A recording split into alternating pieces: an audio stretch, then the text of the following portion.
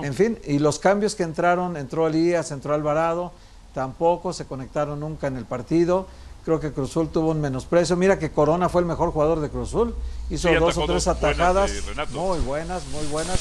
Eh, si te atacan a tu portero y tú en cambio las pelotas que tienes para marcar las avientas a la tribuna, bueno, pues entonces eh, un equipo estuvo muy concentrado en el partido, el Atlas, sabedor de sus limitaciones, pero con mucha entrega, y el otro equipo eh, que tiene toda la idea futbolística, que tiene el plantel, que tiene la banca, no tuvo hoy esa actitud de humildad para enfrentar un equipo que se sabe más débil y para tratar de ganarle en el campo. Entonces Cruzul, para mí, menospreció al rival. ¿Difieres o concuerdas, Mauricio y Mike, con lo que dice Héctor Huerta? Que menospreciaron al Atlas, que fueron soberbios, que jugaron quizás y la intensidad de otros partidos.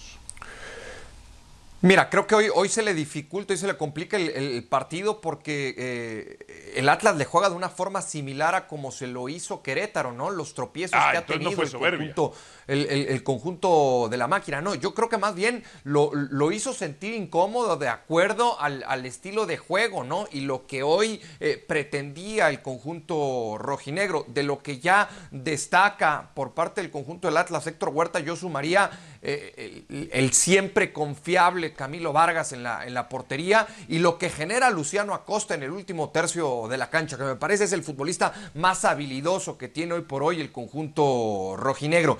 Y algo que le debe de preocupar a Cruz Pero no le gusta a don Héctor. No, a mí me parece tribunero. O sea, para, para ti, Mauricio, Luciano hizo un buen partido, para Héctor no. Mauricio.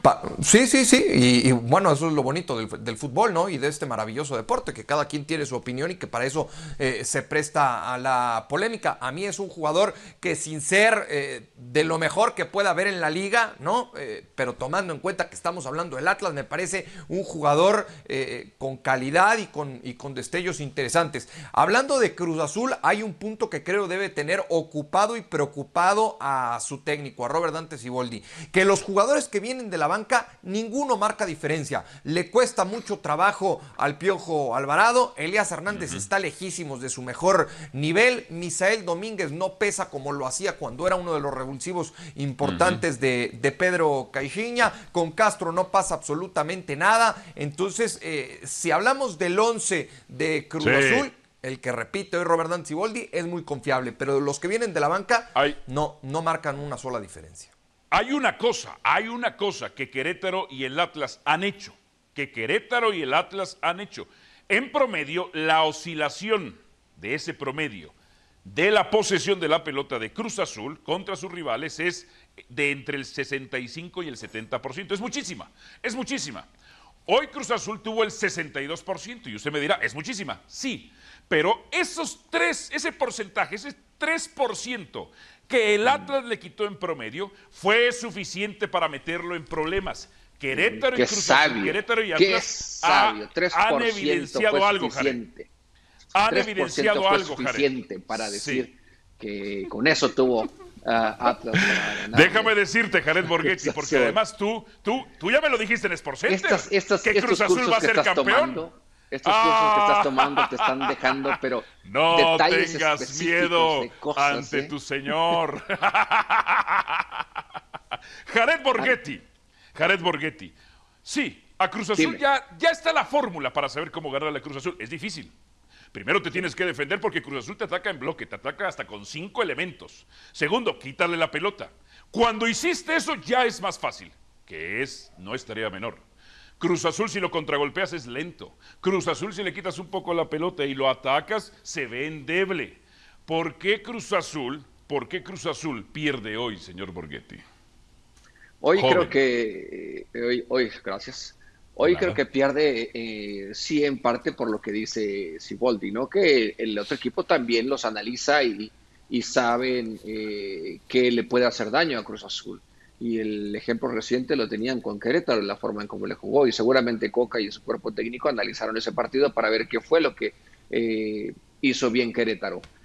Eh, pero también eh, va mucho de la mano en la forma en cómo ofensivamente el equipo Cruz Azul deje de hacer cosas, porque pueden hacer todo eso que mencionaste, ¿no?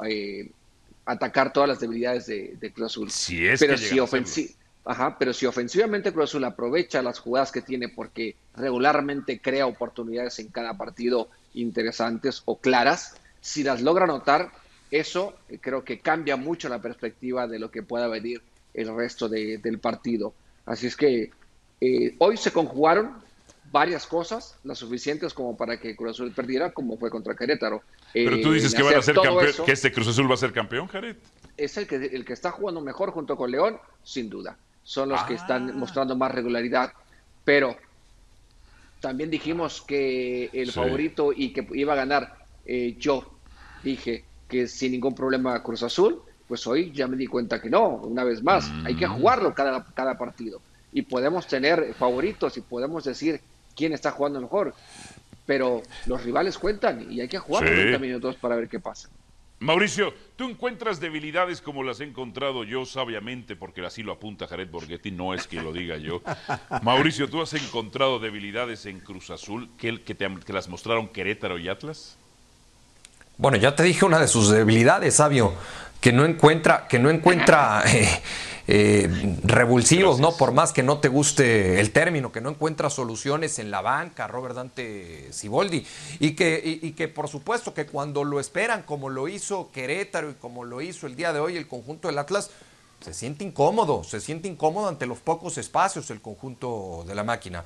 Creo que dentro, de, dentro de todo lo malo que le pudo haber sucedido hoy a Cruz Azul, le llega a tiempo otra llamada de atención, mm. no mucho tiempo después de lo que había sucedido contra Querétaro, para decir, y es muy claro su técnico Robert Danziboldi, no, también los rivales nos estudian y tendremos que ir buscando y perfeccionando distintos escenarios. Señor Huerta, antes de ir a la pausa, eh, quiero hablar un poquito de su Atlas, nada más, de su Atlas. Si fuera mío no estaría así, ¿eh? la verdad. Eh, eh estaría peleando, peleando títulos, sí. Ah. Si yo no, lo tendría en el último lugar del porcentaje ni de la tabla, no, no, no. Andaría peleando títulos. Si fuera mío, pues. Ahí está, grupo Orlegui. Vayan por Héctor Huerta. pobre, con, pobre Orlegui. Le ha ido muy mal a Orlegui con el Atlas. señor, señor Huerta. Y entonces, ¿qué pasó con el. O sea, ¿tanto cambia un equipo con cambiar solamente de técnico? No, bueno, sí le, sí le vino bien la llegada de Coca, ¿eh? porque Coca sí ha ordenado el equipo, ya ganó sus dos partidos de local, sí ha, sí ha mejorado, en puntos ha mejorado. Ahorita el Atlas ya tiene, ya tiene ahorita ocho puntos, ya dejó el último lugar, ya hay tres equipos debajo del Atlas, eso, eso no lo veíamos hace mucho tiempo. Entonces, claro que no estamos pensando en calificar, ni estamos pensando ni locos que estuviéramos en ser campeones, pero sí es un equipo que mostró hoy mejoría me parece que se paró de igual a igual contra Cruz Azul, no, ¿Qué están haciendo diferente con respecto a Rafael Puente Hijo? Yo, yo creo que es un equipo más ordenado y además tuvo la fortuna de que eh, Rafa Puente no pudo contar con Renato Ibarra. Se lesionó muy pronto, no pudo contar con él. Y, y, tenerlo ahora para Coca es una gran ventaja porque abres toda la franja derecha. Aldrete le hizo ver su suerte hoy toda la noche, igual que del otro lado también a, a Escobar se le hizo ver Malcorra.